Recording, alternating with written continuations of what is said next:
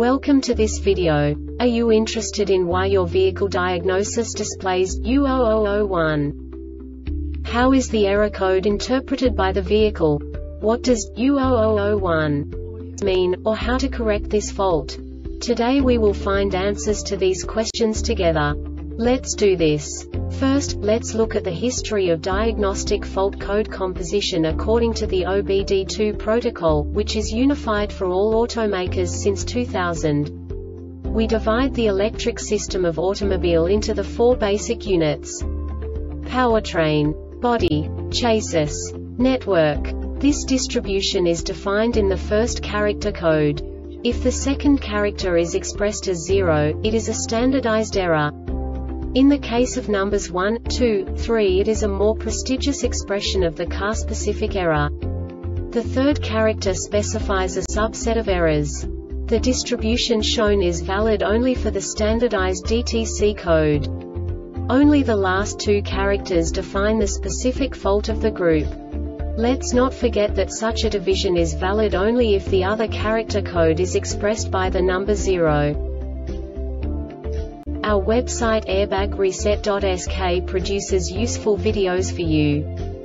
You do not have to go through the OBD2 protocol anymore to know how to troubleshoot any car breakdown. You will find all the diagnostic codes that can be diagnosed in a Volkswagen vehicles. Also many other useful things. The following demonstration will help you look into the world of software for car control units.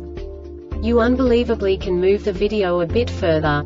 The error code is split into two bytes consisting of 16 bits. One bit is the basic unit that each computer works with. The bit has two logical states. 0, low level, 1, high level. By combining the first two bits, the basic character of the error code is expressed. The next two bits again determine the second character. The last beat styles of the first byte define the third character of the code. The second byte is composed of a combination of 8 bits. The first 4 bits determine the fourth character of the code. And the combination of the last 4 bits defines the fifth character. A single byte conceals 256 possible combinations. We now know in what way the diagnostic tool translates the received information into a more comprehensible format.